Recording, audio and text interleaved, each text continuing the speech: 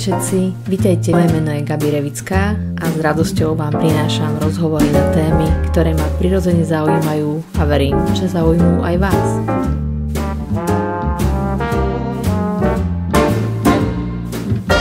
Děkuji za pozvání, Gabi, do té skupiny a vlastně na tenhle rozhovor. Mhm. Keď som si pozerala program, tak eh, som si vybrala zo pár mien a vyberala som si aj podľa, podľa osôb, ktoré poznám a ktoré rada počúvam. A toto je pre mňa vždy také kritérium výberu, že buď som zvedavá na človeka, ktorý prednáša, mm. alebo musí mať mimoriadne zaujímavú tému, ale ten človek je väčšinou pre mňa oveľa zaujímavejší, lebo vieš, téma sa môže napísať hociaká. Stáva sa, že sa od témy aj odbehne. A tá tvoja téma je pre mňa mimoriadne zaujímavá, lebo o nej počúvam vo svojom okolí. To téma um, pámového dna, a ty máš, prosím tě, aký názov prednášky? Pozrieme si ho, lebo si pamätáš? Gabi, dáváš mi závodné otázky. Téma přednášky jsem dávala před půl rokem, nebo před tři čtvrtě rokem. Myslím, že jak mít zdravé a živé pánevní dno pomocí metody 3x3. A přiznám se, že když jsem na tím dneska, už jsem se připravovala malinko na ten rozhovor, tak bych ho pomenovala tajemství pánevního dna, pohledem západu a východu. Tak. Ale pozor, Gabi, není to jako můj název, že bych ho já vymyslela, tento název pochází. Vlastně ještě, Gabi, já řeknu teda o sobě. Uh, pochá, já jsem Slovák, ač mluvím česky a v Popradě jsou lidé, kteří mluví česky, takže já jsem Popradčan, téměř rozený a miluju tohleto městečko. Jsem vlastně lektorkou školy pánevního dna. Ta škola pánevního dna je teda česká škola a já jsem slovenskou lektorkou a vlastně Gabi přináším že nám ukázat?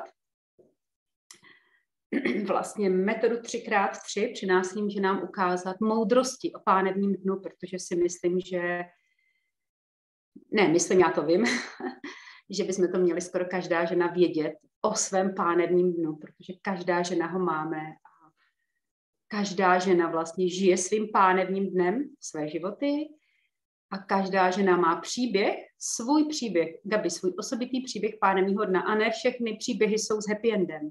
Jo, to mi vlastně ženy dají za pravdu, když je nám 30, 40, 50, tak máme tam uloženo hodně věcí a nějakým způsobem neumíme s tím pracovat. Toto je zaujímavé, čo hovorí, že mm-hmm. mne to pôsobí tak, že mm, ako keby si otvárala takú, taký ten priestor na komunikáciu s panovým dnom. No. Je to tak? Gabi, já vlastně jsem, řekněme, 6, možná 7 let už tou lektorkou, nebo jako kdyby řekněme 6-7 let, jsem na cestě ke svému pánevnímu dnu, nebo na cestě vlastně vnímání, hodně vnímání svého pánevního práce s pánevním dnem. A já si myslím, že to je nekončící jako kdyby studna, jo? že to není jako, že já teď jsem ho poznala a prostě mám vymalováno, ani náhodou. Proto, proto říkám, že to je tajemství pánevního dna. A ten název, Gabi, to jsem nedopověděla, z toho minule vlastně přišel, opravdu vymyslela, vymyslela ta škola pánevního dna, ta ředitelka té školy vymyslela tenhle krásný název tajemství pánevního dna. A to znamená, že tam skýtá Gabi mm, možná že, že to, nemá, že to je, nemá dno, jako jo, to je ta naše úžasná nádoba, ta naše krásná mísa, prostě, kterou máme v podbříšku, a kde fakt můžeme čerpat vlastně ty ženské moudrosti, můžeme čerpat intuici Gaby, kde mm, vlastně východní, východní nauky tohle dávno věděli Gaby, jo, že, že to není jen obyčejné podbruško, že to nejsou jen obyčejné svaly na udržení moči. Já teď už jen trošku zabrousím do toho, jak současná vlastně medicína nebo západní medicína trošku devalvovala tohle místo. Jo? Že vlastně západní medicína ti řekne, ano, páne výdno, máte to tam, že abyste mohli mít děti a milá paní, když už ty děti. A potom to jsou vlastně jenom svaly vlastně na udržení moči. A, a slyšela jsem obrovsky moc příkladů, aby to nám možná ženy posluchačky dají za pravdu, že ženy říkají, no, že pak přišli k doktorovi, ke ginekologovi, že má nějaké malé problémy a on řekne, no paní, když děti máte, je vám třeba 40, 45, 50, teď vy už tu maternicu nepotřebujete. Jo, tak já jenom jako nejdu teď jako nejdu jeho proti panům doktorům tady teď dávat nějaké, nějaké negativní ty, ale spíš bych chtěla, aby, aby jsme každá žena dostali jako kdyby návod nebo informaci, informaci, kterou ta západní společnost bohužel nám nějak odevzdává v tom mainstreamu, Gabi nenajdeš, že pánevní dno je posvetný grál ženy prostě, jo, a že pojďme ho vnímat, pojďme ho cítit. A vlastně bychom mohli předejít hodně, hodně, Gabi, hodně jako kdyby komplikacím. A já mám takovou krásnou větu, kdybych svoje pánevní dno byla bývala, kdybych to byla bývala věděla před těma 30 lety, když jsem rodila první dítě, tak bych Gabi asi úplně jinak vlastně si myslím, že i rodila, i jinak bych prožívala potom vlastně svoje, řekněme, intimní zdraví. Mhm.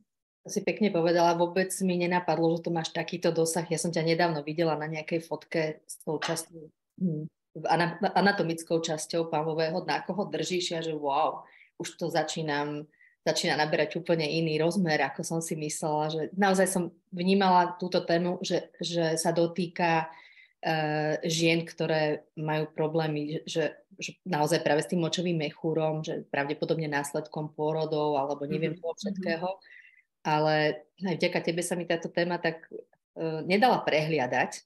Mm-hmm. A um, potom som ju začala zachytávať uh, od žien z môjho blízkeho okolia aj v mojom veku a stále som bola v tom, že sa dotýka žien okolo 50 ale teraz mi to tu vyvraciaš. Čiže mm. kedy najlepšie začať komunikovať so svojím pánvovým dnom a dozvedať sa uh, tie informácie, ktoré by nám mohli vylepšiť aj intimný život, aj, uh, aj kvalitu života vôbec. Gabi, já začnu takovým jenom vsuvkou. Vlastně to pánevní dno, jako kdyby, co to je, ano, řekli jsme si, že to je teda náš podbříšek a je to vlastně svalová miska, Gabi, jo? Vlastně v, téhle, v těch našich pánevních kostích máme takovou krásnou svalovou misku a Gabi, a ta naše svalová miska, ještě důležitá informace, aby jsme věděli, to taky patří vlastně do pánevního dna, aby drží naše ty úžasné ženské orgány, jo, a ty naše vaječníky, vejcovody, tu naši krásnou maternicu, hej, naší uh, vagínku, patří, patří tam, Gabi, ještě samozřejmě i močový měchýř s močovou trubicí a patří tam ještě hrubé črevo. A Gabi, teď si zober, že mi přes tenhle ten, já tomu řeknu, posvátné místo, nebo toto naše místo ženy, Gabi, my žijeme jako žena svoje životy. Jo? Takže Gabi, tudy dostáváš první menstruaci, hej, v těch 12, 13. Gabi, tudy se poprvé vlastně miluješ a potom vlastně tudy, po, tudy žiješ svoji sexualitu. Tudy vlastně vlastně to je místo, které ti pak nosí tvoje miminko, když si, mám, když si teda, když čekáš miminko, potom tudy rodíme Gabi. Tudy vlastně nám přichází i menopauza, takže Gabi, je to prostor a místo, které ovlivňuje, aby tyhle ty velmi důležité mezníky v životě ženy. To jsou důležité věci. Jo, třeba některá žena nemá děti, nechce mít děti, tak je to v pořádku, ale i tak, i ta žena musí vnímat svoje pánevní dno, protože třeba aspoň má menstruaci, aspoň má třeba sexualitu žitou. Tak a, a, a je tam vlastně, Gabi, souvislost, že v jakém stavu, Gabi, já mám, nebo a pozor, Gabi, v jakém stavu mám pánevní dno a jak ho vnímám v té které etapě života ženy Gaby, tak já tu etapu žiju. Si mi ináč toľkokrát tak pekne povedala Gabi. Myška. Pamätám sa, že by ma niekto toľkokrát odslovil, tak som si to tak, akože vnímala som samozrejme to, o čom hovoríš, ale ďakujem ti, že mi hovoríš, Gabi. Mám veľmi... Gabi, až potom našem, až skončíme živé vysílání, tak Gabi dáme si pět minut, kdy, tě, kdy se budeme hezky oslovovat. Ale to až teda po živém vysílání. Dobře, Gabi? Já mám Pojďme teď, aby ženy trošku počkej měly malinko ten informační význam vlastně z toho, z tohohle, mm, vlastně z toho pánevního dna. Takže Gabi, jen toto, toto mě velmi zaujalo a myslím si, že to má obrovskou pravdu a vidím to vlastně i ve svém okolí, i na sobě to vidím. Takže Gabi, já řek, začnu třeba od Uh, začnu od menstruace. Asi víme, že menstruace je taková, vlastně všechny ženy máme menstruaci a uh, naše společnost není nastavená na to, aby jsme ji oslavovali, aby jsme o té menstruaci mluvili krásně, že jo, v televizi je menstruace modrá, modrá krev a tak dále. Takže sa to učíme velmi príkladne a veľmi na to teší aj používať slovo menštruácia namiesto iných Nevím, no právě. No a teď si říkáme, a jaký teda máme vlastně k ním vztah, nebo jak nás naučili maminky, jo? Jak nás ty maminky naučili ten, a mm, my třeba jsme v tom autopilotovi, že to přejímáme automaticky, tak aby v takovém stavu pak budeš mít pánevní dno a v takovém stavu ono s tebou bude vlastně jako kdyby komunikovat, jo? Takže, a teď se vrátíme ještě k takový jedný velmi silný, takže menstruace, takové velké, velké téma, kterém bychom mohli hodně mluvit. A pozor, Gabi, velké téma je menopauza. Jo? A pozor, je to vlastně takový období ženy, nebo přechodové období ženy.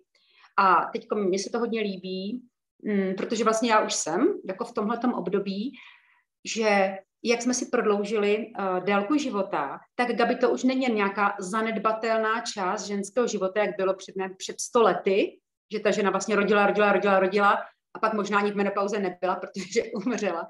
Ale Gabi, to je půlka života. Jo? Ty se v 50 stáváš, nebo okolo 50.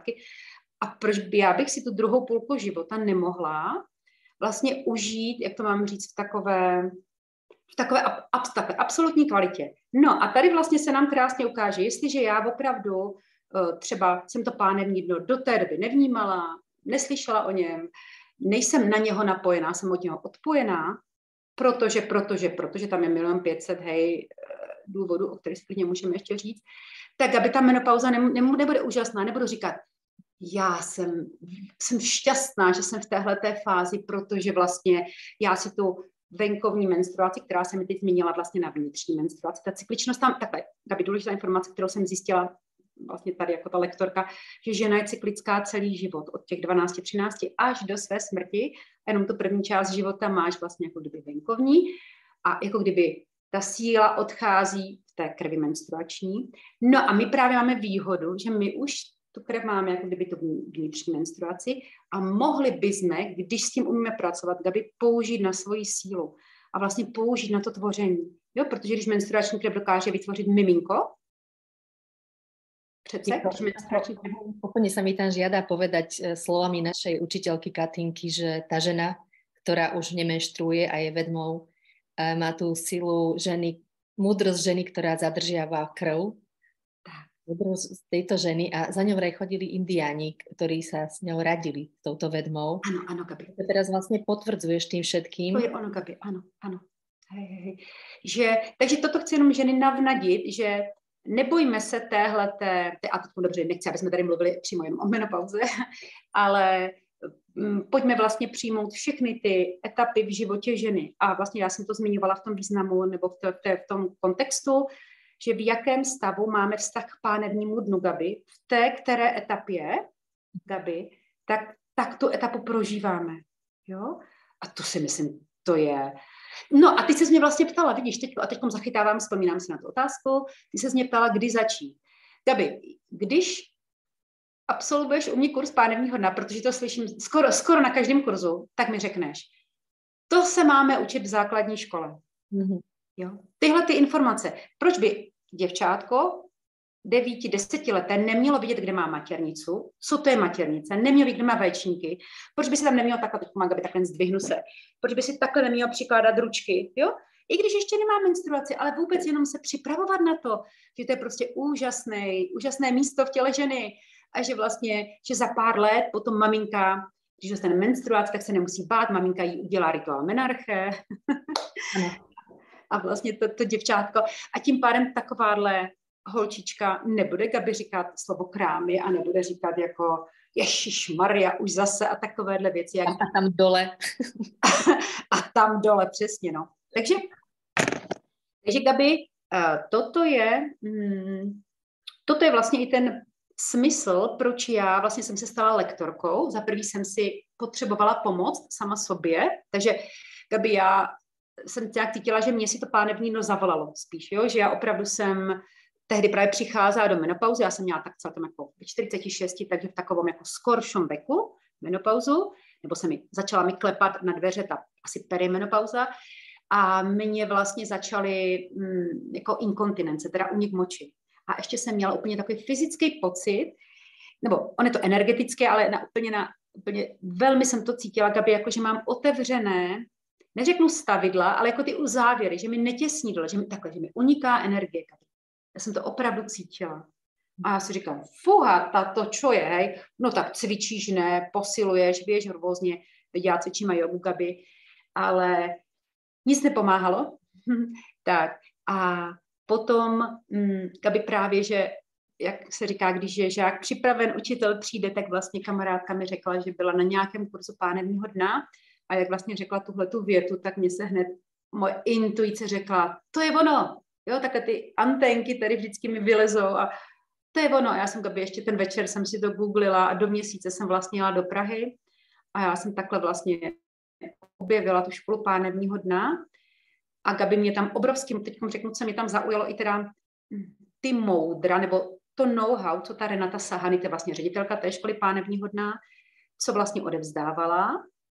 A hlavně, Gabi, mě tam zaujalo ten podtitulek Tajemství pánevního dna pohledem západu a východu. Mě tam zaujalo to, že vlastně já, jako západní žena, se naučím mm, jako kdyby to, co nám říká třeba naše západní medicína, ale dám to dohromady a tohle vlastně ta metoda 3x3 dělá s těma východníma moudrostma, které jsou staré, Gabi, tisíce let. Jo, když to mi dáš zapravdu, že tyhle ty nauky, jako Tao a yoga, a už jsou staré velmi, velmi dlouho. Jo, ještě naše kultura tady ještě Priznám sa, že presne toto ma privolalo k tebe, že je to spojenie práve týchto mm-hmm. dvoch smerov a nie jedného, lebo no, mám veľmi rada tieto pohľady, keď sa spájajú do jedného. A keď som ťa spoznala, tak si mala na sebe také dlhé šaty, alebo to bol plášť a stála si pri okne taká zamyslená, ktorý sme sa veľmi málo poznali, ale sedeli sme vedľa seba, asi to nejaká vyššia sila zariadila. No, keď si stála pri tom okne taká, taká zamyslená, tak som ti urobila zo pár fotiek nevedela si o tom. A potom si sa pozerala, som ti povedala, že prosím ťa, ostane, ešte, ešte by si mohla pozovať. Potom som ti ich ukázala, vravela som ti, že keď budem robiť najbližšie kurz pre autorov, aby napísali príbeh uh, podľa, podľa fotografie, oh. tak, tak by som veľmi rada tú fotku použila, čo si myslia o tejto žene. tak ak chceš. To mě pak zajímalo, no. Gabi, ještě teda... Messenger mimochodom. Ještě raz, Gabi, nepočula jsem teda. Tyto fotky najdeš v Messengeri. Ano, ano, já jsem je dostala teď před Velmi, velmi záhadně působíš, tak mysticky. Keby si dokonce nemohla... si pamatuju, Gabi, na co jsem myslela, ale neprozradím ti to, až potom se to nechám, stejně pamatuju. Jsem byla taková hodně zamyslená, no. Ale Gabi, počkej, ještě, ještě minutku, ještě poslední větu, protože opravdu končíme za chvilinku, aby nebyl ten rozhovor úplně dlouhý. My dvě bychom byli schopné mluvit tady až do rána, ale Gabi, eh, tady jsem si napsala takovou jednu větu, kterou je důležité, nebo dobře dvě, dej mi dvě věty. eh, ta škola pánevního dna, nebo ta metoda 3x3, uh, eh, učí ženy, Gabi, takový jiný pohled no vlastně na, ten, na to naše podbruško. A teď řeknu, uh, proto my máme i hodně jako kdyby pomůcek. Když přijete na kurz ke mně na ten celodenní kurz, tak vlastně my tam máme obrázky, pomůcky, aby ta žena si udělala vlastně, že jenom nejenom jako, že, by je, že bude navnímávat, i když pozor, je to prožitkový seminář, takový cvičící, to není jako, že budeme jenom povídat, ale aby ji viděla přes ty oči, aby si udělala, uh, aby si udělala vlastně jako kdyby pohled, nebo tak moje pánevní dno je takhle krásné a my ho, Gabi, vnímáme jako květinu. Jo? A opravdu pánevní dno, pojďme zkusit vidíme jako květinu, ale Gabi, pozor, který se nedá poručit. A vlastně pozor, žádné květině se nedá poručit. To znamená, že to není sval, Gabi, který vytrénujeme že jdeme do posilka a teď třikrát týdně jdeme tam. Ne. Právě on musí mít úplně, a mluvíme teď o těch hlubokých svalech, aby proto říkám, že je to svalová míska, která má více vrstev a my se teď bavíme o té nejdůležitější svalové, nejdůležitějším svalům a to jsou ty hluboké svaly, Gabi, které bohužel ti nikde ani na internetu, ani v těch gynekologických brožurkách, jako kdyby se o nich nemluví. Jo, oni ti řeknou, Gabi, stahujte svěrače, když chcete poslovat pánevní dno, pojďte na výkon, raz, dva, tři, čtyři, jo, a stahuješ svěrače, stahuješ zadeček, stahuješ bříško. Ale Gabi, to není sval pánevního dna. To jsou svěrače, to je zadeček a to je bříško. A my se musíme dostat právě, to je to témství, my se musíme dostat do hloubky, jo, my jdeme právě ještě vlastně jako kdyby výš ke svému středu a tam leží taková úžasná svalová místa, hej, která se jmenuje levátor Ani. A z toho levátoru Ani vlastně z toho svalového bereme vlastně pubococcygeus. To je nejdůležitější sval, který vlastně tantrici dávno, dávno, dávno označovali jako, že VIP sval východu, protože je, označuje se jako sval lásky. Takže Gabi, my se učíme s tímhletím svalem pracovat, aby jsme ten tonus, vlastně, aby jsme mohli být zdravé, aby jsme, aby jsme ho cítili. Protože budeme stahovat svěraček, Gabi, ne, ne, nepomáhá to. No a takže květina, které se nedá poručit, takže ty nemůžeš tam prostě jako ano, budu teď pětkrát týdně chodit do posilka a budu si posilovat. Ne. Květina řekne, nechci. Proto vlastně, Gabi, tam je ten, ještě takový ten další rozměr, že, že, že to nejsou samozřejmě jenom svaly, že to je i emoční barometr těle ženy, hej, a je to energetická pumpa. Jo? A vlastně ty emočnímu barometru který si Gabi pamatuje, co všechno zažilo přes tyhle ty etapy ženy, co jsme vlastně zmiňovali, hej, menstruace, sexualita, porody, lékařské vyšetření, ddd, tak mu nemůžeš přece poručit. Krásný. On chudák je tam někde vystresovaný, protože tam zažil nějakou hroznou prohlídku od pana doktora.